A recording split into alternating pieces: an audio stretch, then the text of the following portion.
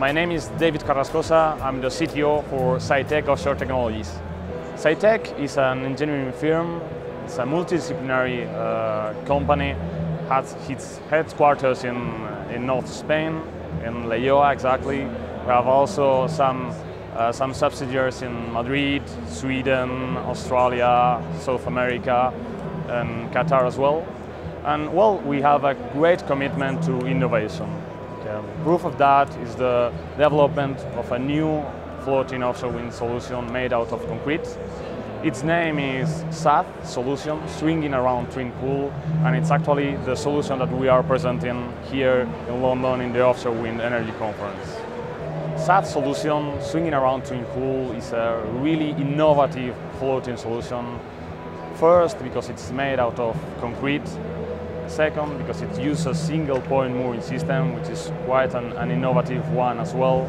And the possibility of assemble, construct, and actually install the, the wind turbine on board and then pre-install the mooring system and reduce a lot marine operations and the costly vessels that common, common bottom fix uh, solution use makes it really competitive. Actually, it makes it competitive from 35 meters onwards. We, we started uh, early in 2012 with the development of the, of the, solution. We got really good results in tank testing and also uh, the, the, the, intensive economic analysis we, we performed. And we decided to, to take an, the, our next step in the commercialization of the technology, which was first launched Saitec Offshore Technologies as a spin-off for the Saitec Engineering Group, and then start with the demo SATH project, which will be further uh, presented by my colleague Amaya. My name is Amaya Martinez, and I am the project manager of Saitec Offshore Technologies. Right now, we are at the detail engineering phase of the project. Uh, we have done some preliminary design and we are gonna start performing some wave tank testing. We are gonna work on the coupling between the hydrodynamics and aerodynamic part with a detailed mooring design in a, using a 135 scale model.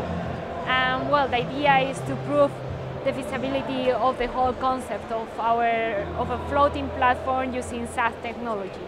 The opportunity is that it can bring us to the market uh, at the end the mission is to commercialize SATH technology and this way we can prove the concept that the technology works, that is cost competitive and that also reduces the risk compared to other floating solutions. Once we have performed the experimental testing, we're going to calibrate our numerical models to go further go for a optimization of the design and to end up with a detailed design and some specification in order to start with the construction of this prototype at the beginning of 2018. I think that this project is a really innovative theme. Uh, it, gets, it could get us into a, a, really interesting market.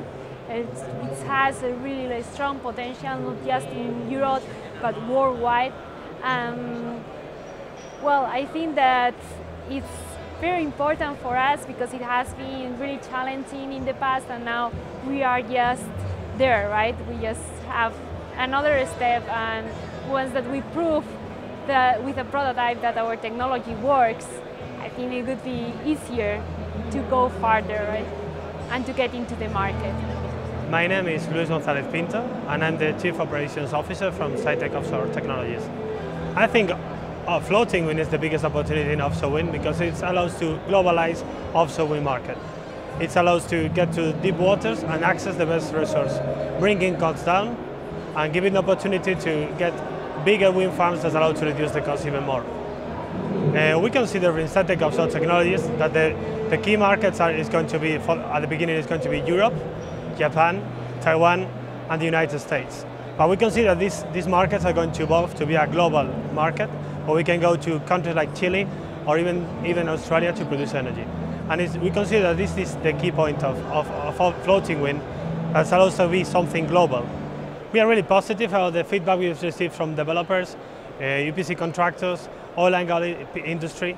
We are really happy with that.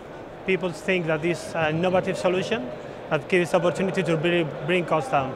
From another perspective, maybe from civil engineering point of view, not from oil and gas, and that's it's a key value from, from our point of view.